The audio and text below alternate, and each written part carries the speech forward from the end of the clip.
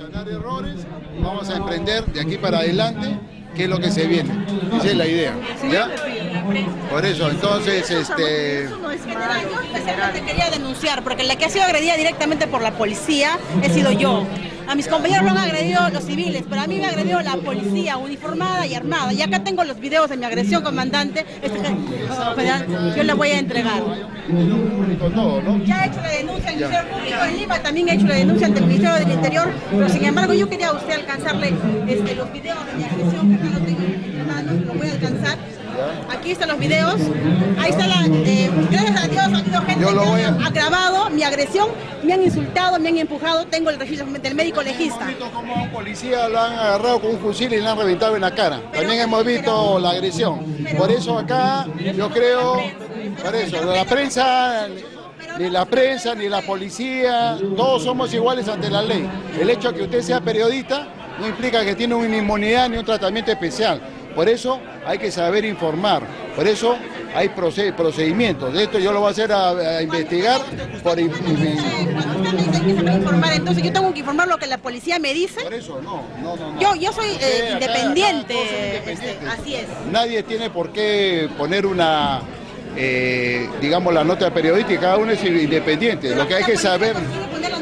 No, no, la policía no, no creo Acá esto lo va a hacer llegar a... las pruebas, tenemos las pruebas. digo, también tengo un video que a un policía le revienta en la cara. Sí, es, a ese por eso, pues. A ese policía yo lo he defendido en la turba. Sin embargo, después la policía de aquí me agrede. Y me han dicho extraoficialmente que el comandante habría mandado a agredirme directamente a mí porque yo estaba filmando toda la violencia que estaba haciendo. Y no es justo. Yo he terminado en el hospital.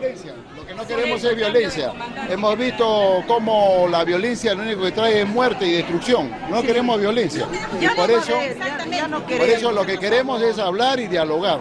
Hemos visto todo lo que ha pasado. General. Hemos visto como una prensa orientaba y asusaba a la gente para que saliera con armas y enfrentara, enfrentara a la policía. ¿Justifica el trabajo del comandante general? ¿Justifica el trabajo del comandante? Yo no justifico nada. Toda la, en forma permanente el personal policial es evaluado. Y si hay algo que investigar, se investiga, porque yo no tengo compromiso con nadie. Un documento de la Junta de Usuarios donde le da combustible para los patrulleros de la comisaría del Pedregal, cuando se sabe que el combustible es pagado por el Ministerio del Interior. No, el combustible de Estado, no es del Ministerio, el combustible es de ustedes para que apoyen con, combustible en general. No por qué apoyar a nadie porque justamente la policía tiene sus recursos. En ese sentido, en ese sentido se hará una investigación. No te preocupen y vamos a evaluar. Nadie es permanente acá, se va a evaluar.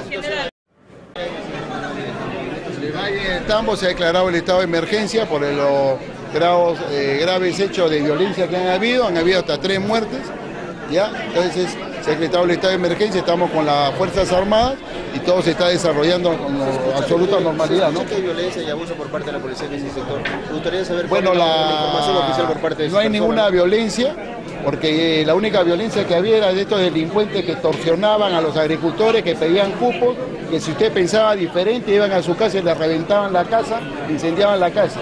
Esa violencia ya ha sido controlada, ya no existe y la policía actúa con el Ministerio Público. Cada, en cada sector hay un, un, representante, un fiscal, y con esos fiscales somos los que estamos actuando. ¿Los policías que han sido agredidos, cómo se encuentran estos instantes en cuanto a su salud, estado físico? No, hay, uno que ha muerto, hay otro que está rehabilitando, pero lo que ya no queremos es violencia. Lo que necesitamos es condiciones eh, de seguridad para buscar lo que muy bien dijo la, señora alcaldesa, lo que estamos es un nuevo amanecer. Yo creo un nuevo amanecer empieza con...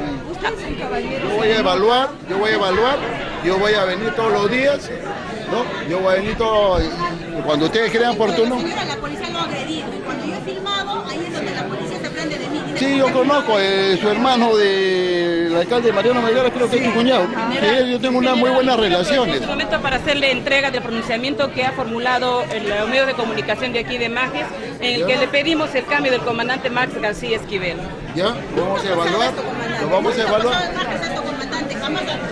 General, ha habido paros de tres días acá, pero nunca ha habido este tipo de agresiones. Vamos a evaluarlo y acá no hay nadie se queda con el puesto. Yo lo yo con usted mismo. No, yo no voy a hablar con el alcalde, yo voy a hablar con, con usted y con la Junta de Vecinales. que mi denuncia prosiga, porque yo tengo la denuncia No, la Fiscalía, tengo derechos humanos, al Ministerio del Interior y al mismo Ministro del Interior le he mandado también una denuncia. ¿Cuándo tendremos una respuesta general? Vamos a evaluar, pues, Pero ¿en vamos a qué tiempo? me voy a evaluar, voy a reunirme con la Junta Vecinal, voy a reunirme con los ciudadanos y poder evaluar. Voy a venir con el mismo ¿Cuántos presidente. galones diarios tiene de dotación los patrulleros del Pedregal? Depende, entre 5 a 8 galones. Es de acuerdo a ¿Qué se solicita a la Junta de Usuarios? que pedirle absolutamente a nadie. Nadie tiene por qué dar gasolina. Porque están pidiendo, ¿qué pasa, general? Es delito. Y como denuncio inmediatamente a inspectoría. No se preocupen, pero vamos a venir, vamos a tener una... una... No, sí, sí. Ah, claro, que me está haciendo conocer, tengo que investigarlo de oficio, pues. Y acá viene inspectoría. Voy a enviar al inspector. El día de mañana mismo estoy enviando al inspector, ¿ya? Al coronel Majail Deza.